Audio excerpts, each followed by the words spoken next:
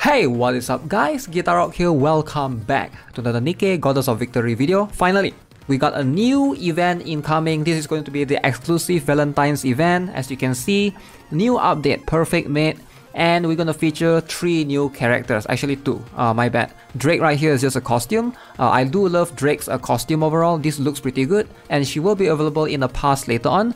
Uh, Privaty is going to be a new character, exclusive to this Valentine's event. And 8 right here or AD I don't know how you pronounce that exactly. Now in case you guys are wondering are these two characters must pull? Are they limited? They are not limited. They will be added to the standard banner later on. As you can see via these particular patch notes there 8 will be available in ordinary recruit. After the event ends same goes for Privaty as well will be added to the ordinary recruit after the banner goes away. So if you guys are worried, you know, uh, will they be limited or not? They're not. Alright, so there's that so let's first have a look at the trailer, give you guys a better context on what this event is all about.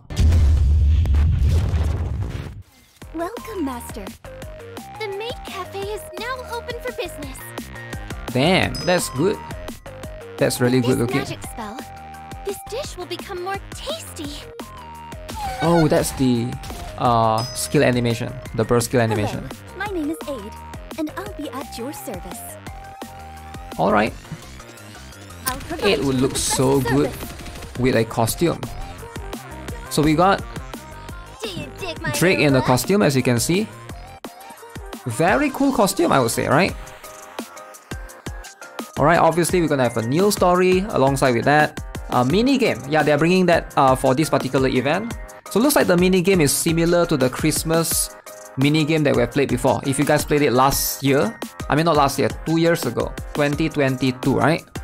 Uh, we're gonna have Crystal Chamber, which is a new boss that looks holding an event. insane. Alright, that new boss that the service we provide looks extremely extremely crazy. all right so these two are the characters featured as you guys can see. So let's talk a little bit more about about this. So first things first uh, i'm going to talk a little bit more about the boss crystal chamber. As you can see this is going to be solo raid season 10 boss information. So you can expect this boss to be uh, you know, you can expect the two new characters to somewhat be the counter of this boss. Ideally, that's going to be the way it is. But solo raids is something that you know you're gonna need multiple teams. Pretty cool looking um frame right there, right? I like the design overall. So uh, the mini game you guys briefly saw earlier is going to be pretty simple and straightforward. You just gotta toggle uh, which plates go to the left and which plates go to the right. I think it's a very simple, straightforward uh, event. But this is gonna give you some, uh, you know, some gems along the way, some keychains. And yeah, Valentine's Day special box times 5. Make sure this is something that you do every single day. I hope it's not too repetitive though. You know, based on my experience, uh, they did learn from their past uh, during the first Christmas event. It was quite repetitive. Now let's talk about the character then. So we got two characters going on. Privaty Unkind Maid. So if you guys are not aware, this is how she looks like. I do love her design, pretty cool. She's going to be a burst 3 Elysian. Okay, so it's been a while since Elysian faction actually got a good. Oh, she has a tail as well. It's pretty interesting. Yeah, so I'm so glad that Elysian is gonna get, you know, like uh, in this case, hopefully a good damage dealer or a good DPS overall, right? So that's going to be how she attacks. And then we have one more 8 right here. So let's have a look. This is going to be for 8's animation. Uh, 8 is not going to be Elysian, she's going to be Tetra, right? So they are both in a different, both from a different faction. Based on the event last year, because she was introduced in the event last year as well, alongside with Cocoa and Soda, right? But she was not featured right there, and people are wondering how come you cannot obtain her. But now finally we have the answers. It looks like, you know, finally she will be playable. Now, are they worth pulling for though? Because you can see, you know, both of them are really really cool. And we're gonna talk a little bit more about this. Now, in case you guys are wondering, Privaty is gonna come first. Alright, Privaty's banner will be there at February 5th uh, maintenance till February 22nd. Privaty's banner is gonna occur first, and 8's banner is gonna come slightly later at February 15th to February 29th. So let's talk about the skills. Alright, so you guys have a better idea.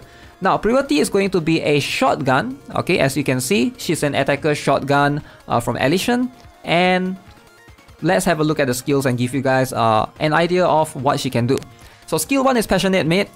Activates when landing attacks 30 times using pellets. Okay, very familiar concept with Leona. I'm sure you guys are aware of that.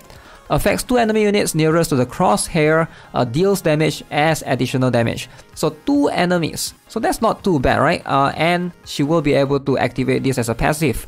Now for skill 2, activates when more than 5 pellets hit with a single normal attack. That's pretty cool. Uh, this is going to affect self. She's going to reload faster, 20% reload speed for 2 seconds. Uh, when hitting 3 times using pellets during full burst time, she's going to reload 1 round. I do like that actually. Alright, uh, attack increased by 11% and stacks up to 5 times, can last for 2 seconds. Holy, that sounds that sounds insane. That sounds incredibly crazy. Attack increased by 11% and stacks up to 5 times. That means it can go up to 55% at least, right? Or even more, like 50, uh, more than that.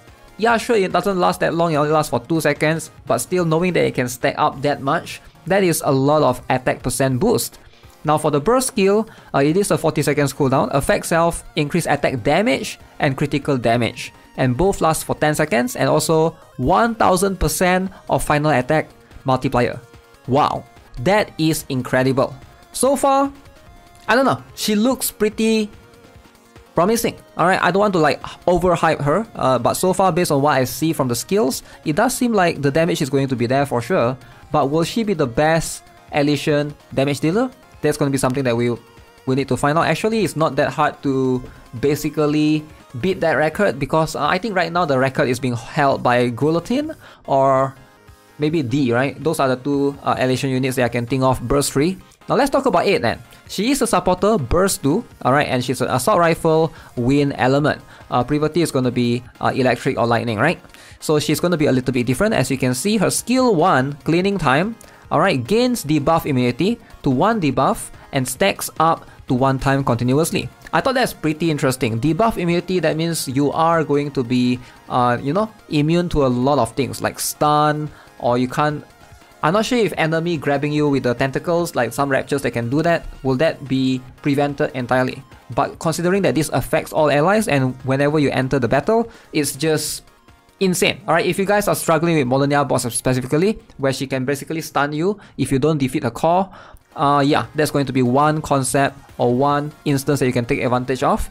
Activates when own HP falls below 90%, affects all allies, and everyone's attack increased by 5% of caster's attack. Buffs like this are going to be uh, a little bit difficult to pull off for a new player, right? Because when you see attack increase by 5% of the caster's attack, that means it scales off her attack. That means you gotta have good gears on her, right? Because the, the better your gears, the more that attack boost is going to be. Uh, even though this is going to be something that's uh, pretty interesting, but the activation condition here, when your own HP falls below 90%, is a little bit weird in my humble opinion because what if you have a shield going on, right?